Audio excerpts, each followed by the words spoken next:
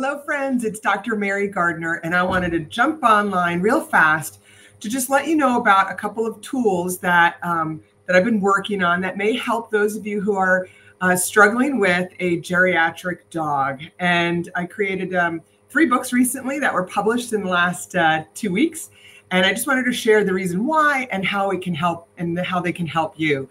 So the, the reason why is that after going into thousands of homes, I could see the struggles that either the dog or the family are having.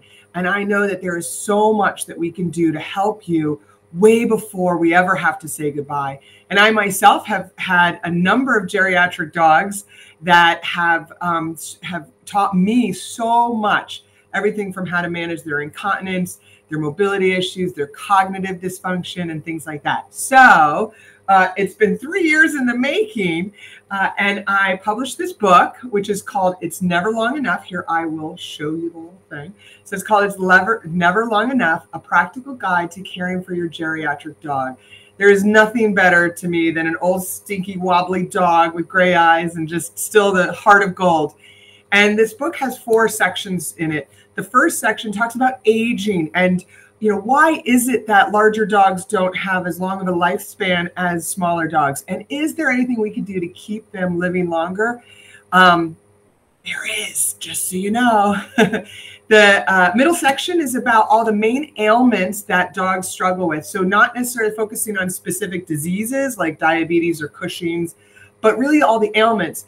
Because if you have a dog that's got arthritis or a, uh, a back problem, or whatever it may be, they still have mobility issues.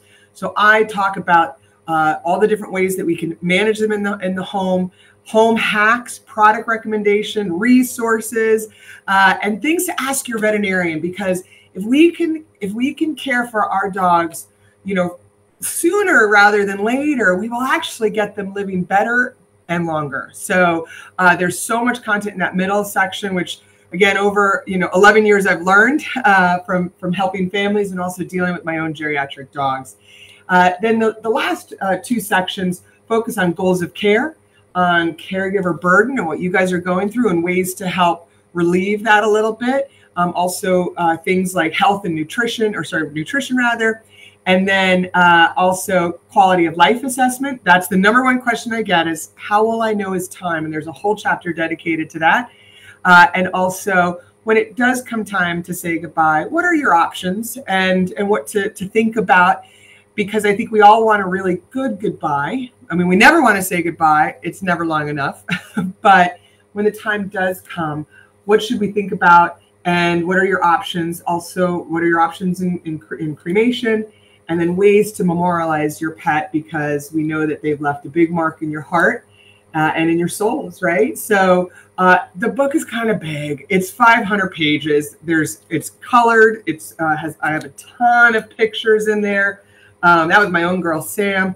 Uh, just really, I wanted you guys to you know when you grab it, just feel like it's got some great content and tips and tricks. I've got QR codes that link you to other um, templates that you could use as you're managing your own dog.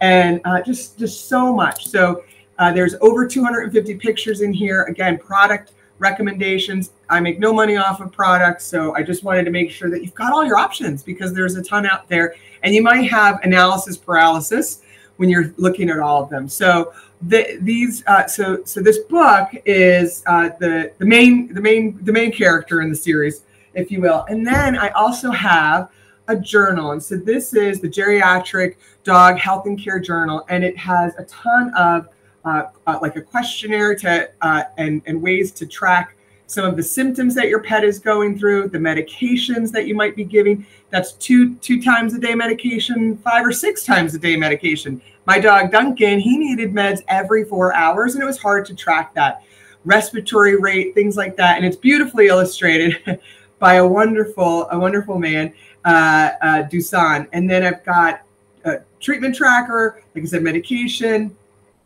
goals of care, and why you know why you want to create a goals of care, bucket lists and favorite things, dog quality of life assessment. There's a lot in here, and uh, goals for the caregiver. and then also a little counter at the end. So, so there's so much in this that could help you uh, just, you know, kind of have ease the burden of ailing for your aging dog. And then lastly, for those of you who have children, I, and I have another video more specifically about this. Don't forget about uh, the activity book for uh, for children. And you know, one of the purposes of this is to get everybody involved because I think we're so scared sometimes to talk to our children about uh, the upcoming passing of a dog or or afterwards. And so this book will will just help bring the whole conversation together with the whole family. So we want uh, we've got things in here. So this is with Colleen Ellis and I uh, developed this book. And like one of the activities is, hi Renee, one of the activities is that we want the child to go to ask everybody in the family, uh, be act like a reporter and ask, you know, what were your favorite nicknames? What was your favorite activity? What what will you miss the most or or do miss the most? And for them to create a little story about their pet. And then we also encourage them to post all their pictures and, and crafts. There's a ton of craft ideas in here, like what to do with their leash afterwards or their collar rather afterwards, how to create seed papers. You can grow a little garden uh, for them in, in, in their honor. So this is for, for, for the children, like I said. So all three books are available at all the major bookstores. So Barnes & Noble, Books A Million, stuff like that. And also Amazon. So I will, uh, I popped here my drmarygardner.com uh, forward slash books, if you will, that has um, that has more information that I go into.